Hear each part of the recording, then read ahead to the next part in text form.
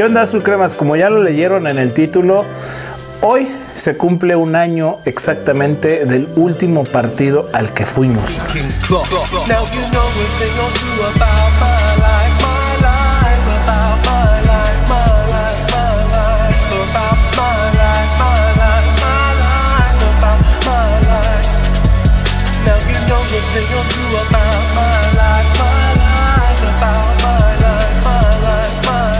Un año de estar encerrados, un año de estar en casa, protegiéndonos. A uno nos ha ido bien, a otros no tan bien. Eh, lamentablemente otros han partido. Pero queríamos hacer este video recordando que hace un año estábamos en la cancha, que hace un año estábamos festejando el primer partido de cuartos de final de la CONCACAF y que a partir de ahí cambiaría nuestra vida rotundamente. Que a partir de ahí sería muy diferente lo que conoceríamos. Hoy quiero recordar este partido. América Atlanta del miércoles 11 de marzo del 2020. El último partido en el que hicimos un video desde la cancha. El último partido en el que nos reunimos, en el que estuvimos riendo, conviviendo, pero ya con un temor, ya con la zozobra de saber qué era esto nuevo que venía, qué era esto que, que, estaba cambiando el mundo por completo. Partido de ida de la Conca Champions, los cuartos de final, nos tocó contra el Atlanta United. Tocó abrir la serie aquí en casa y cerrar allá. No va a ser en el mismo estadio, quizás no se juegue con público por todo esto que viene del coronavirus. Pero hoy es importantísimo y vital sacar una victoria, una buena ventaja Justamente previo a ese partido yo platicaba con mis amigos afuera del estadio y bromeábamos diciendo que esto no nos iba a afectar tanto a los mexicanos porque estábamos acostumbrados a comer mierda y media, patitas de pollo en, el metro, en la calle, los tacos de los, de los puestos de la esquina, etc. Pero realmente no sabíamos lo que era esto. Terminando este partido con una victoria 3-0 sobre el Atlanta United, nos fuimos esperando poder ir el siguiente sábado al estadio en un partido América Cruz Azul. Ahora esperar qué va a pasar con el partido de vuelta, con todo lo que está sucediendo del virus. Se están cancelando muchas cosas. Quizás sea puerta cerrada, quizás se posponga, se cancele. Esperar. Mientras el domingo a los arrimados una vez más. Todo era una duda ya que se empezaban a cancelar partidos, se empezaban a posponer, a cerrar estadios, en Europa ya se jugaba sin público o de plano ya no, ya no se jugaban los partidos. Ese partido América contra Cruz Azul no llegó para nosotros, sí llegó para el equipo, se jugó a puerta cerrada y a partir de ese momento todos nos encerramos, todos estuvimos haciendo cuarentena. En lo personal yo me encerré con mi familia, con mi esposa, con mi hijo, nos aislamos completamente. Los resultados de eso en lo personal han sido que, que gracias a eso ninguno de los integrantes ni de la familia de ella ni míos se han contagiado. El círculo eh, más cercano no se ha contagiado. Afuera de ese círculo sí ha habido contagios, pero nosotros no hemos estado en contacto. Un año de no contagiarnos, de estar resguardados. Con muchos cambios, eh, el trabajo, la incertidumbre del dinero, como todos, como a todos nos ha pasado, eh, esto nos vino a cambiar completamente todos los planes que teníamos de vida en general y a partir de ahí también cambió la dinámica del fútbol, eh, partidos a puerta cerrada, alejados de los equipos.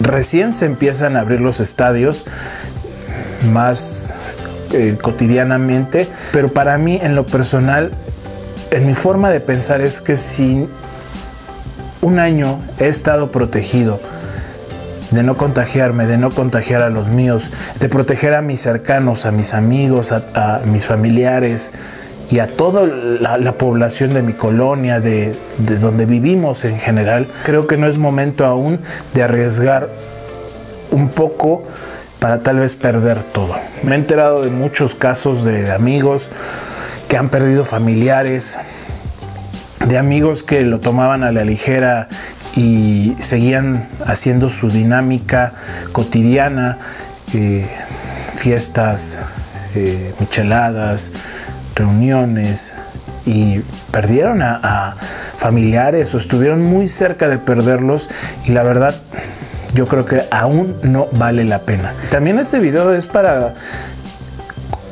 hacer un poco de conciencia y no bajar la guardia, porque si lo hemos resistido un año, yo creo que se puede resistir un poquito más, un poquito más para ver hacia dónde va todo esto, si hay una tercera ola o si ya vamos a poder salir definitivamente. Un año de estar aislados, de estar lejos, pero también un año de mucho aprendizaje, de muchas cosas buenas. Y si tú has estado en tu casa cuidándote, resguardándote y has tenido la fortuna de que los integrantes de tu familia en donde vives no se contagien ni tú, eres un afortunado y debemos de seguir así.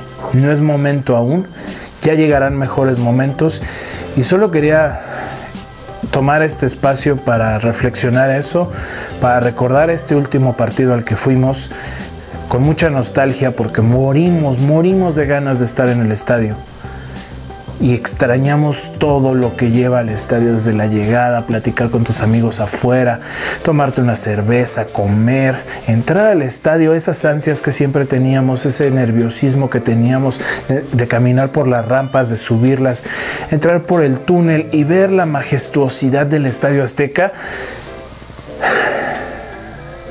Lo digo y se me pone la piel chinita.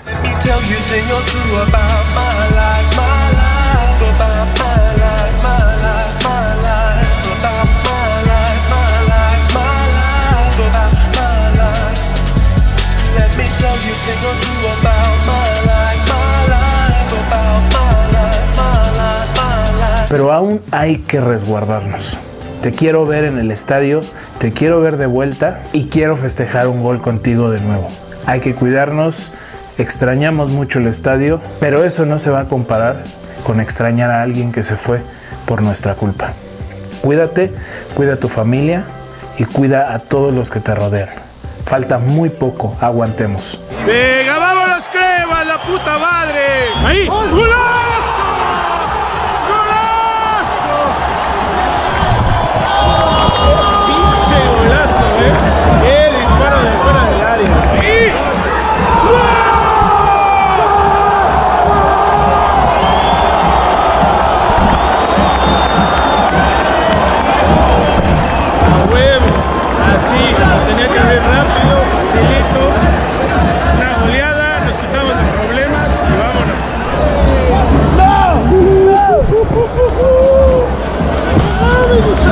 de cagada.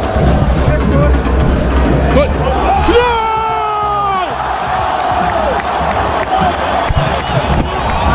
bien, a 35, 3 0. Vámonos, Rikis. Saludos, Águilas. Saludos, Águilas. Arriba el América, carnal. Arriba el Águila.